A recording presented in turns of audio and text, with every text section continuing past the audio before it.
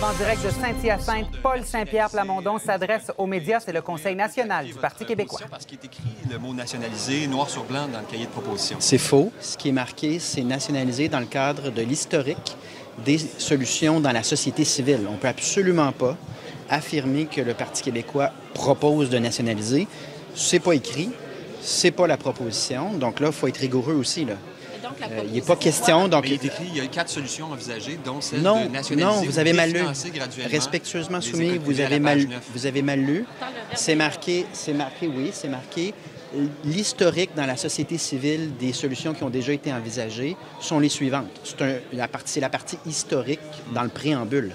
Donc, vous ne pouvez pas affirmer que le Parti québécois offre de nationaliser. Donc, là, que ce soit clair, nous ne proposons pas de nationaliser les écoles privées. Ça peut- être plus clair? Sur- non, c'est pas la même chose. Sur une base volontaire, si des écoles privées veulent devenir conventionnées et donc obtenir 100 de leur financement de l'État, elles pourront le faire sur la base volontaire. Pourquoi les conventionner? Ça permettrait d'avoir plus de mixité, donc des critères de sélection qui amènent plus de mixité dans, dans ces écoles-là. Ce serait sur une base volontaire, donc on ne peut absolument pas parler de nationalisation et ce n'est pas sur la table. CHSLD, quand il y a eu le débat de vouloir les remettre dans le giron de l'État, on a parlé de conventionner les CHSLD et on a dit qu'on allait les nationaliser. C'était dans ce cadre-là que ça s'est fait. Tout le monde comprend que nationaliser, c'est d'acheter avec des fonds publics des entreprises privées ou abolir le privé. Et c'est pas ça qu'on propose. Donc, à un moment donné, c'est pas ça qui est proposé. Ça peut pas être plus clair. C'est moi le chef du Parti québécois, puis je vous dis, c'est pas notre Mais- mais proposition de nationaliser le les écoles choses- privées.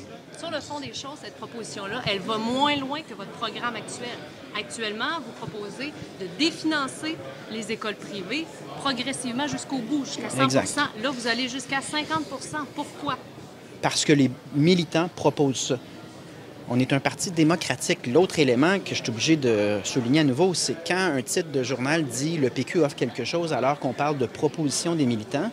Je rappelle à tout le monde qui connaissent un peu le Parti québécois, tout le monde est libre au Parti québécois d'arriver avec une proposition.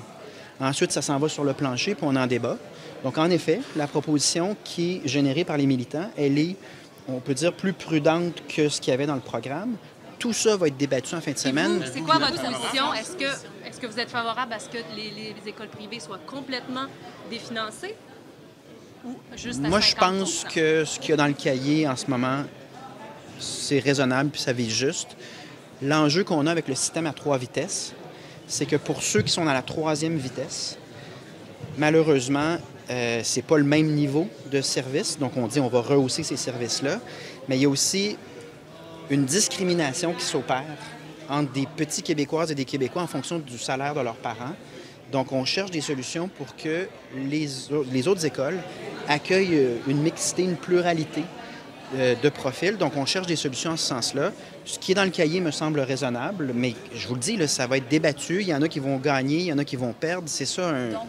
certains militants euh, trouvaient que la Paul Saint-Pierre Plamondon qui euh, s'adressait aux médias. On, on sait qu'il y a congrès hein, du Conseil national du Parti québécois à Saint-Hyacinthe répondait à des questions sur euh, le financement des écoles privées. Certaines euh, donc propositions seront débattues avec les militants au cours de la journée. Claudie Côté sera avec nous sur le coup de 9 h pour nous résumer ce qui va se passer aujourd'hui.